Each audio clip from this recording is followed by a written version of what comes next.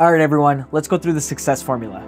Now, I feel like a lot of us have heard be, do, have, right? So the being choice, doing what it takes, and then having the life of your dreams. What that means to me is number one, the being choice is a decision. So it's first and foremost deciding that this is the route that I want to take or this is who I want to become. Number two is actually doing the work, establishing the foundation and doing the activities that it takes and building the habits in order for you to build what you want to build. And last but not least, number three is actually having, accepting, and having gratitude for what you've built, for everything that you've done in the process. And I remember when I first heard it, it was it didn't make any sense to me. And um, I mean, like I got it conceptually, but I really didn't like understand it. Like I was still trying to do things that uh, that would get me to someplace eventually. And where it really clicked for me was this um, especially in my health uh, journey.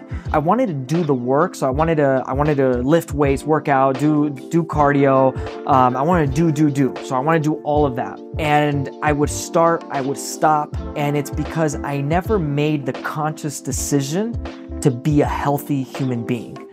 And a healthy human being, it's not about the doing. It's, I mean, at the end of the day, if we just ate healthier, you know, we would lose the weight that we want to lose. And so it really ingrained everything in me in, in, in understanding that I need to become the type of person that eats healthy, that moves their body on a consistent basis, and so forth. And I took that to business, right? I, if I want to become, you know, a great business owner, then I need to make that decision first within myself um, and actually start practicing what it takes.